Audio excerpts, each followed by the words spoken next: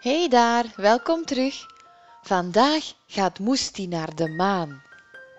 Op een avond, terwijl Moesti op zijn kamer zit te spelen, kijken mama en papa in enkele reisbrochures. Zullen we hem nu al het grote nieuws vertellen of wachten we er nog een tijdje mee? vraagt papa. Laten we het nu maar doen, zegt mama. Ik ben zo benieuwd naar wat hij zal zeggen. Intussen is Moesti stilletjes naar beneden gekomen. Wat is dat daar allemaal? Jullie doen zo geheimzinnig. Is het iets wat ik niet mag weten? vraagt hij. Kom er maar bij, roept papa. Er zijn inderdaad zaken die jij niet moet weten, lacht mama, maar over onze reisplannen gaan we je alles vertellen. We gaan op reis met het vliegtuig, zegt papa. Gaan we vliegen? Met een echt vliegtuig? Moesti struikelt bijna over zijn woorden, zo opgewonden is hij. Dan kan ik Janneke Maan gaan groeten, lacht hij. Wanneer vertrekken we? Oh, dat duurt nog wel even, lacht mama.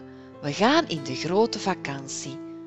Maar dag zeggen tegen Janneke Maan, dat zal niet lukken. Zo ver gaat de reis niet. Maar we zullen wel tussen en zelfs boven de wolken vliegen, zegt papa. Misschien kunnen we wel met een raket op vakantie gaan, gniffelt Moesti. Weet je wat? Ik word later astronaut en dan reis ik door de ruimte en land ik op de maan. Maak dan maar eerst een ommetje langs je slaapkamer, lacht mama, want het is bedtijd. Ik zal niet kunnen slapen, ik ben veel te opgewonden, zegt Moesti. Ga dan maar schaapjes stellen, lacht papa, dan ben je heel snel in dromenland. Wel te rusten. Vanavond telt Moesti echter geen schaapjes, maar wel wolkjes. Hij zweeft alsmaar hoger en hoger.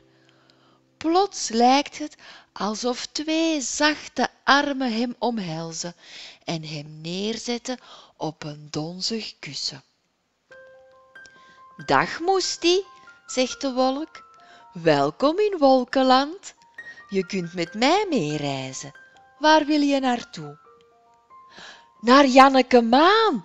Ik wil, zoals een echte astronaut, mijn vlaggetje planten op de maan, roept Moesti. Dat kan, lacht de kleine wolk, maar zo ver kan ik je niet brengen. Hoe raak ik er dan? vraagt Moesti. Dat zal je zo meteen zien, zegt de kleine wolk geheimzinnig. Nog even geduld. Moesti kan zijn geluk niet op. Met grote ogen kijkt hij om zich heen. Kijk, een raket, juicht hij. Je wilt toch naar de maan? zegt de kleine wolk. Dan moet je straks met de raket mee. Die kent de weg in de ruimte heel goed. Ik vond het heel fijn bij jou, zegt Moesti. Maar ik wil echt naar Janneke Maan. Daarom heb ik dit vlaggetje meegebracht. Nu is het tijd om afscheid te nemen, lacht de kleine wolk. Goede reis, Moesti. Moesti is toch een beetje triest. Bedankt voor alles, kleine wolk. Ik zal je nooit vergeten, zegt hij. Maar veel tijd om te treuren heeft Moesti niet. Hij zwaait nog even naar de kleine wolk en dan gaat de raket er pijlsnel vandoor. Onze kleine astronaut heeft al een lange weg afgelegd in de ruimte. Maar dan plots is het zover. Hij heeft zijn eindbestemming bereikt. Hier ben ik dan, roept hij trots. Dag Janneke Maan, ik ben Moesti en ik ben heel, heel blij. Ik heb een Moesti-vlag voor je meegebracht. Zo weet iedereen dat ik hier ben geweest. Waar ben je geweest? vraagt papa met een luide geel. Hé, wat jammer nou, zegt Moesti. Ik lig gewoon in mijn bed en daarnet stond ik nog op de maan. Dat zal dan wel een mooie droom geweest zijn. Ga nu maar weer slapen.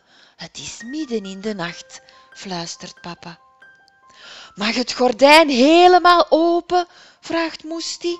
Misschien komt Janneke Maan dan ook wel eens naar mij. Tot morgen, papa. Wel te rusten. En jullie, bedankt voor het luisteren. Wel te rusten en tot een volgende keer. Slaap wel.